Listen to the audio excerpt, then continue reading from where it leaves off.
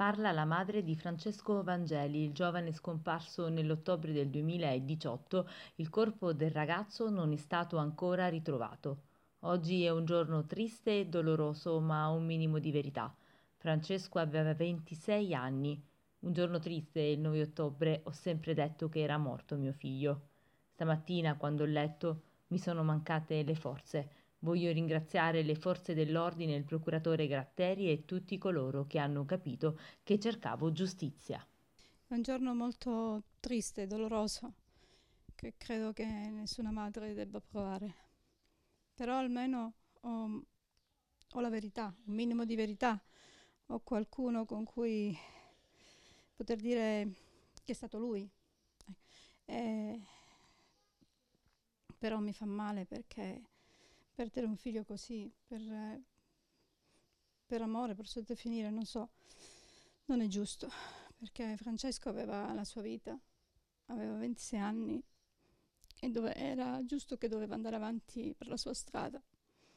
Invece la mano dell'uomo ha voluto che non sia stato così.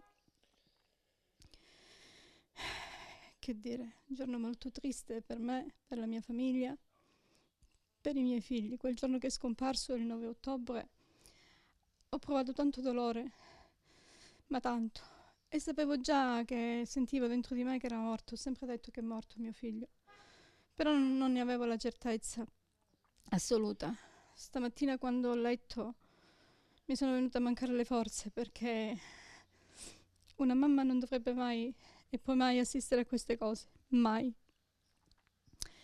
Io è da nove mesi che lotto, nove mesi, per me lunghissimi, per le forze dell'ordine è poco, diciamo, però io per questo voglio cogliere l'occasione per ringraziarli, ringraziare il comando di Vibbo, il capitano Gianfranco Pini, che mi è stato vicino, che è venuto a trovarmi, è venuto a casa mia, mi ha dato grande speranza, e i carabinieri di Filandari, tutti, il procuratore Gratteri, la dottoressa Frustrace, il dottor De, De Bernardo, tutte persone umili con me, perché hanno capito che io cercavo giustizia e la cerco ancora perché non è finita qua.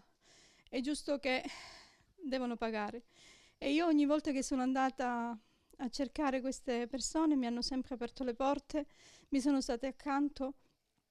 Il capitano addirittura è venuto qua a trovarmi a casa per dirmi che lui c'è e di fatti c'è stato davvero e sono onorata di questo. Ringrazio le forze dell'ordine tutti quanti e invito tutta la gente a denunciare, ad avere fiducia, avere fiducia nella legge perché ci sono, i carabinieri ci sono e lavorano, lavorano.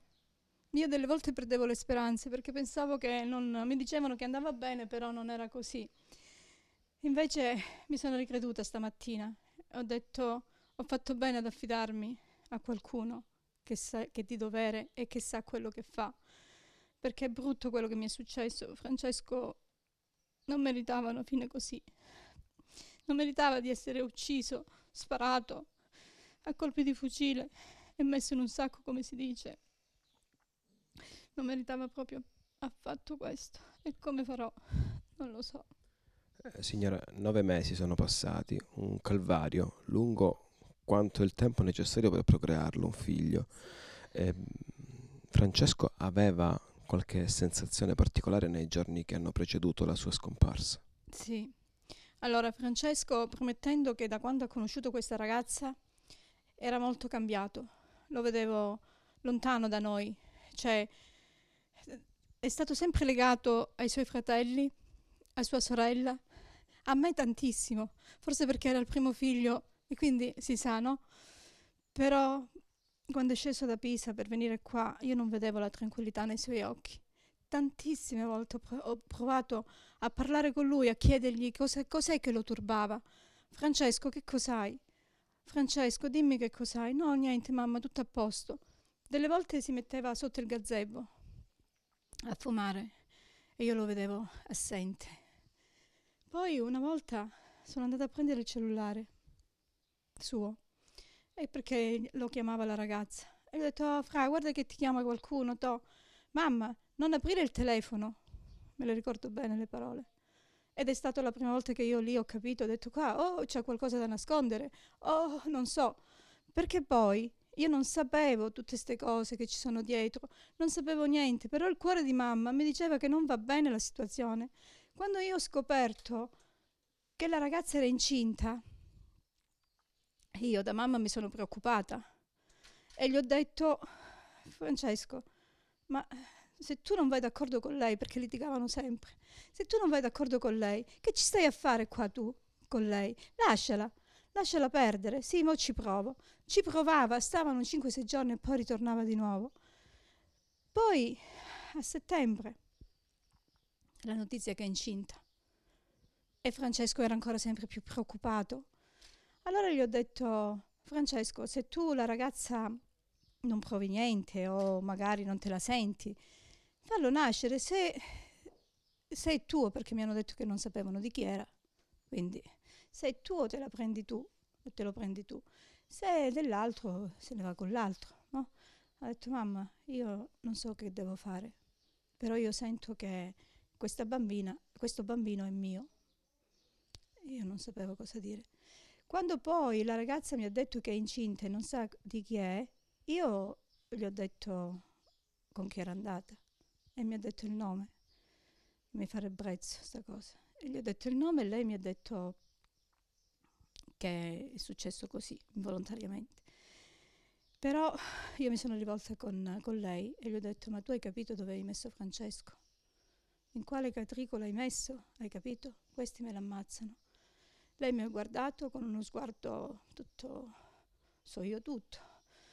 Mi ha detto no, a me no, a, le, a lui no. Semmai eh, questa è una cosa che dovrebbero fare a me, non, non a lui.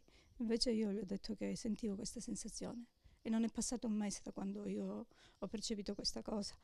E, e avevo paura sempre per lui, perché poi lui era un tipo che non aveva paura di nessuno, quindi andava, si sbrigava le sue cose e non ci ha detto niente a noi quella sera.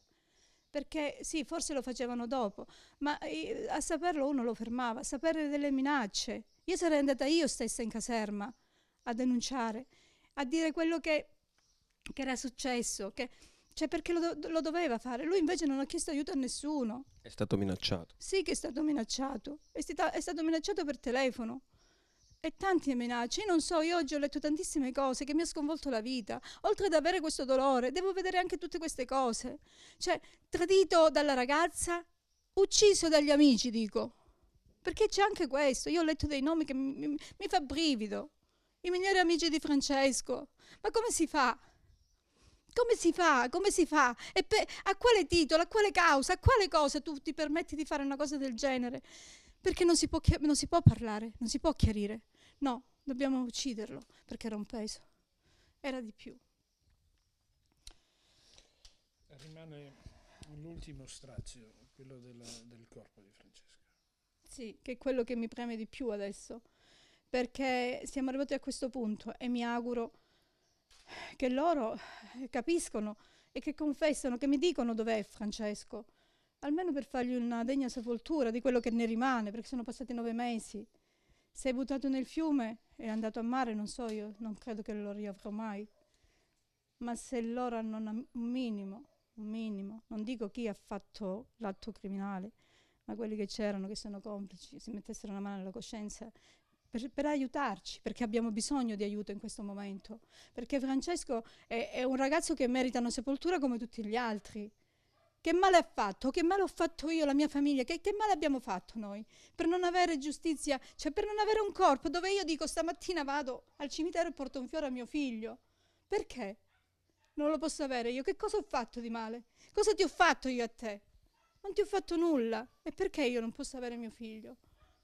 Io questo chiedo, che mi restituiscano il corpo, almeno il corpo, ridatemi questo corpo di quello che ne rimane, sono passati nove mesi, non so cosa possa rimanere.